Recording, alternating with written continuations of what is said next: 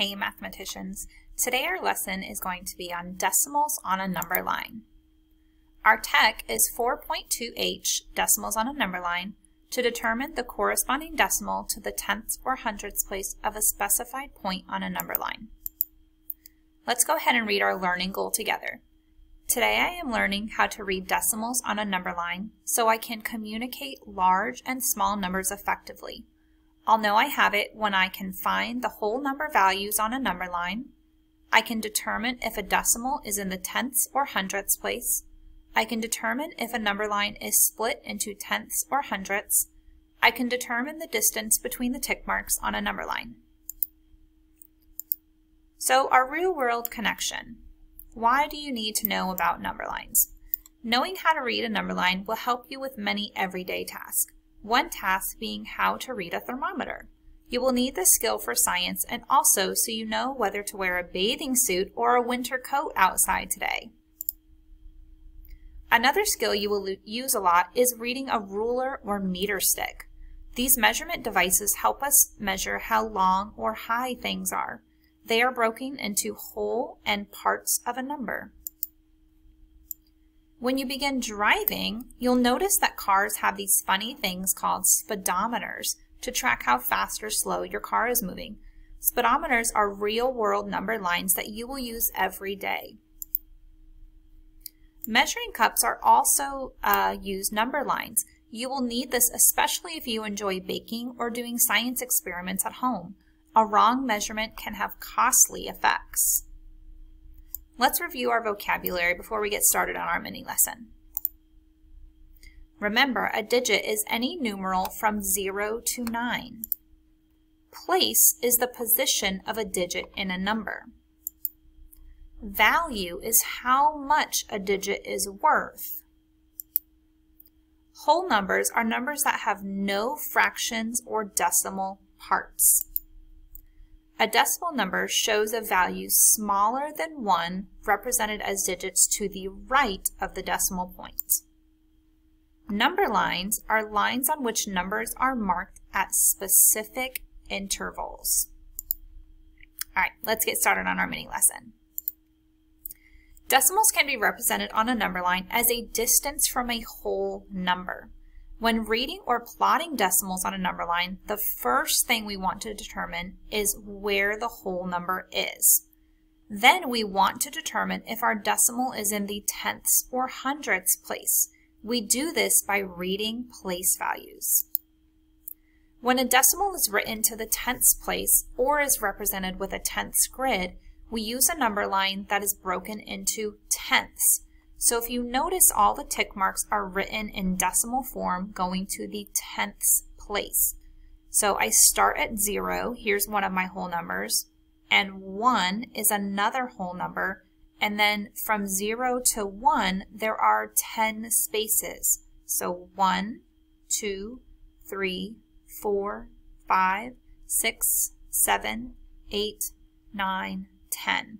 So that's like if I were to take a whole candy bar and break it apart into 10 pieces. It's the same thing with the number line. I'm taking that one whole and breaking it into 10 parts to represent tenths. So if you notice that this one tenth in decimal form, two tenths, three tenths correspond to the tick marks. So one jump equals one tenth, two jumps is two tenths, three jumps is three tenths. A tenths number line will have 10 parts in between every whole number. This number line starts at 0 and goes to 1 and has 10 intervals or tick marks representing each tenth. You'll notice that for each tick mark you move to the right, the digit in the tenths place increases by one tenth. So just like our normal counting numbers, one, two, three, four, five, our number line will follow that same pattern, but because we're working in tenths and not whole numbers, we would say one tenth, two tenths, three tenths, four tenths. When a decimal is written to the hundredths place or is represented with a hundredths grid, we use a number line broken into hundredths. Notice all of the tick marks are written in decimal form going to the hundredths place. So this is 10 hundredths, 20 hundredths, 30 hundredths. A hundredths number line will have a hundred parts in between every whole number. This number line starts at zero and goes to one and has 100 intervals or tick marks representing each hundredth. So I can count from 0 to 10 hundredths, and in between there will be 10 parts, 10 small tick marks. 1, 2, 3, 4, 5 hundredths, 6, 7, 8, 9, 10 hundredths. You'll notice that for each tick mark you move to the right, the digit in the hundredths place increases by one hundredth. So I want to go ahead and zoom in to our hundredths number line so you can see what's going on here.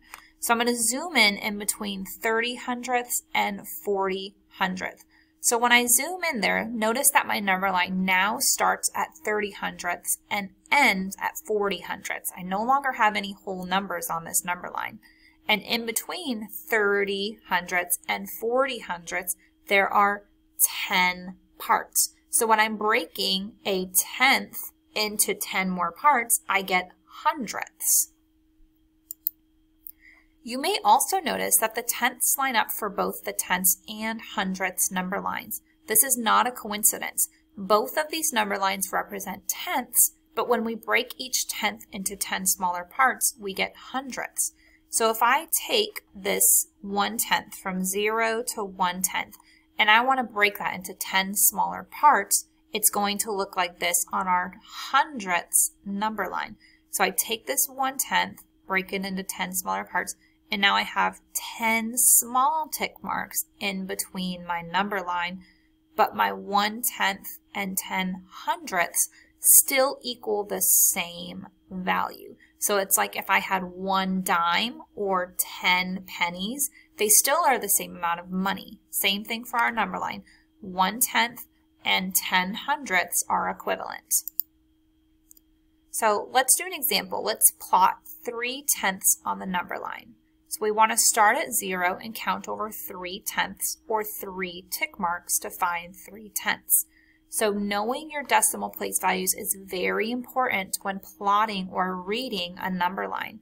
So I know that this digit 3 is in the tenths place and I don't have anything in the hundredths place. So when I'm plotting on my number line, I want to make sure that I'm looking at tenths, not hundredths.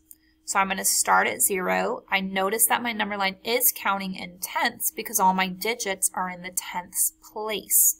And then I'm just going to count over three times. One, two, three, and I'm going to plot my point right there on three tenths. Next, let's plot the decimal 0.3 on the number line. We're going to start at zero and count over 30 hundredths or 30 tick marks or we can count by tenths and count over three big tick marks.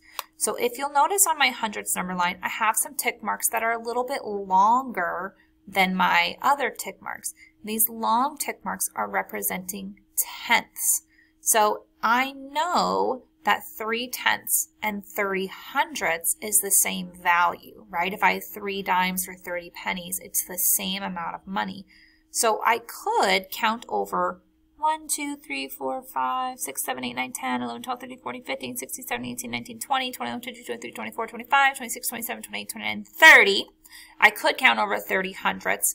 Or because I know that these long tick marks are tenths and these little bit shorter, we'll call them medium tick marks, those are the halfway points. So each one of those ticks is going to represent 5 and my small tick marks represent 1. So because I know that these large ones are tenths, I could count by tens. 10, 20, 30, hundredths, or 1, 2, 3 tenths, and they're the same value. Next, let's plot the decimal 0.27. So because I know my decimal place values, I know that this 7 is in the hundredths place, so that means I'm going to need to use a hundredths number line. So we're going to start at 0 and count over 27 tick marks. So 1, 2, 3, 4, 5, 6, 7, 8, 9, 10, 11, 12, 13, 14, 15, 16, 17, 18, 19, 20, 22, 23, 24, 25, 26, 27 hundredths. Or, because I know that these large tick marks are tenths, the medium tick marks are fives, and the little tick marks are ones, I could count out two tenths, so two big tick marks, one, two tenths or 20 hundredths. Then I could count out either seven small tick marks, one, two, three, four, five, six, seven, or I could count 25, 26, 27. All right, let's do a check for understanding. If a decimal is represented by a tenths grid, what kind of number line will be used to plot the decimal? Go ahead and pause the video and get your answer we would use a tenths number line. If a decimal is represented by a hundredths grid, what kind of number line will be used to plot the decimal? Go ahead and pause the video and get your answer. We would use a hundredths number line. When plotting decimals on a number line, where do you start? Go ahead and pause the video and get your answer we find our whole numbers first. This helps us know if we're working in tenths, hundreds, are, do we have any whole numbers? In this example, we don't have any whole numbers, but there will be some number lines where we do have a whole number and we need to record that. All right, guys, great lesson today. I will see you for our guided practice.